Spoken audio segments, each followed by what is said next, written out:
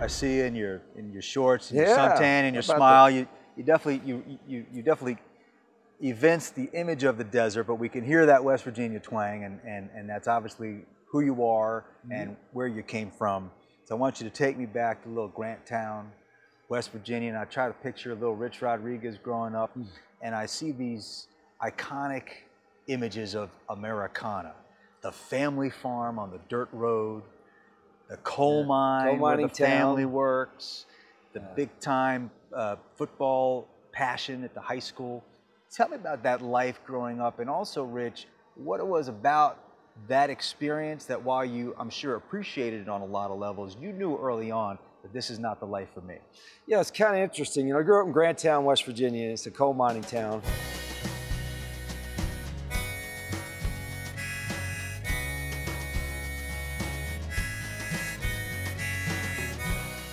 And my dad was a coal miner, my uncles were coal miners, and everybody went to school. I mean, once you graduate high school, you want to get a job in the mines. You can make 12, 13 bucks an hour, buy a new four-wheel drive pickup truck, and then you're living the American dream, right? Well, you know, I went to sports. I was obsessed with sports from an early age, but sports was a big part of the community uh, then. And, and uh, you know, it's funny because I grew up in a little town, Grant Town, West Virginia, coal mining community. Nick Saban, who's a few years older than I did. Nick grew up in another coal mining town in Farmington, about 15 minutes away. And then Jimbo Fisher, who's a friend of mine, grew up in another little coal mining community about 25 minutes away. And so all of us, I think, had very similar backgrounds where sports was, a, especially Friday night football, was a big deal for the whole community and, and being outdoors and competing. And I think that was the one thing, more than anything, we didn't have all these levels of T-ball and all that when you played baseball. There was one team, one little league baseball team, and you had to be good enough to play for that team, whether you're eight years old or 12 years old. and if you didn't, you didn't play. And so I was obsessed with playing. I was obsessed with sports, and and I think with the, the competitiveness and the work ethic and all that kind of thing, I think you know a lot of us gravitated to, and I think it kind of shaped a little bit of what I wanted to do uh, in life.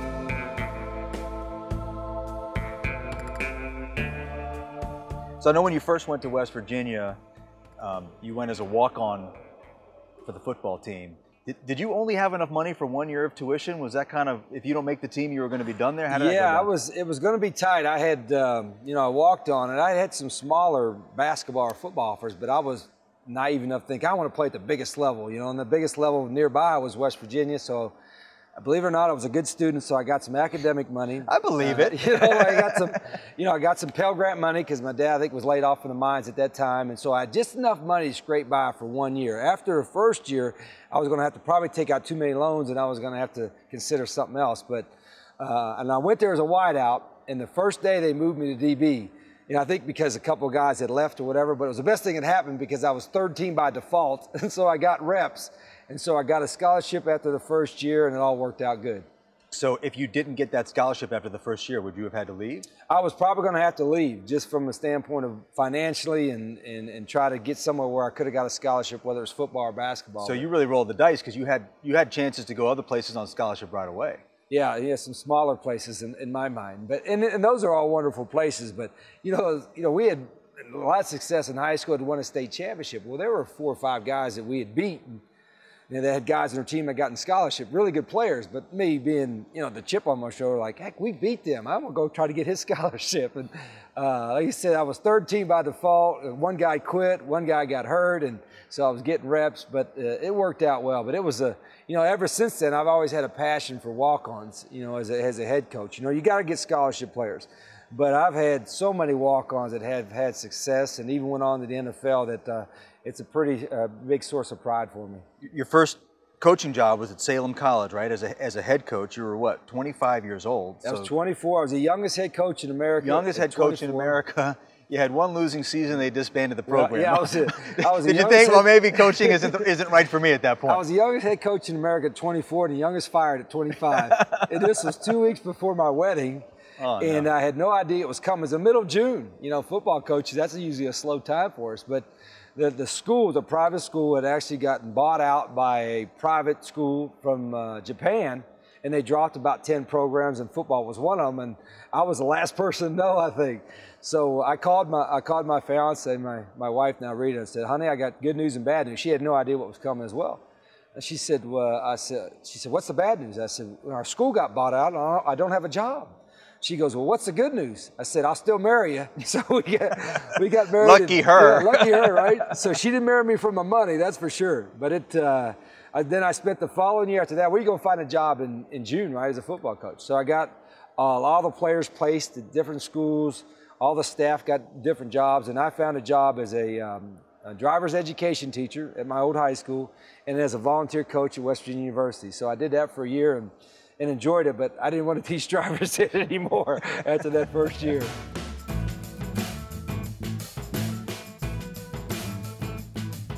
When you got to Glenville State, um, this is where you developed the notion of the spread offense.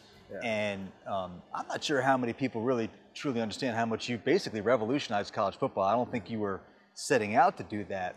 Tell me about the closest thing to a eureka moment in that process where you made some type of switch or something happen where you thought, I'm going to design something here that really hasn't been done before, and this could be this could be something different.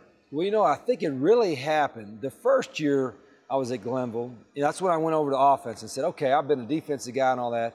Yeah, I want to go over the offense, but I wasn't sure what I wanted to run. I've always been a defensive guy. It was really the second year there. That's when the run and shoot was kind of in vogue in the NFL and, and the Mouse Davis and the Detroit Lions and Houston and all them were doing it. And they were setting all kinds of passing records, but they were also setting records for fumbles and sacks. And, and Warren Moon was getting the heck beat out of him. And uh, we were getting ready to play. It's like the third game of my second year. And so we had put this kind of run and shoot in. But I had a shorter quarterback, only about five foot 10, five foot 11, but he could throw it. He was real smart. And we are getting ready to play Indiana State, which is a one double A. That was a big money game for us. They were paying us like $40,000 and we were going to get killed in this. So I said, you know what? We're going to go in a shotgun and we're going to run everything out of a shotgun and we're going to do everything at a two minute drill pace because I thought that was the hardest thing to defend on defense, the two minute drill. And I said, we're just going to do that and just chuck the ball around a little bit and see what happens. So we go out there and we lose uh, 63 to 49, but we put up like almost 600 yards. And they were so mad. Their coach was so mad he wouldn't even shake my hand after the game, even though they won, because we had this little school putting all these yards at it. And I told the staff after the game, I said, "Boy, I'm disappointed, but we lost. But I think we found something." I said, "If you can find a quarterback, get you some skilled players in space, get five chubby guys to get run over slowly up front of the O line, we got a shot." And then from that point on, we started to develop the run game out of it in practice. And, and so the spread fast, tempo, no huddle thing for us, and then we thought we were the only ones in the country doing it, and nobody probably knew because there's only 500 people come to the games. It kind of took off from there. So we had our own little experimental ground for the next five or six years. And then it wasn't until I went to Tulane and it became on a Division One level that people started really noticing it.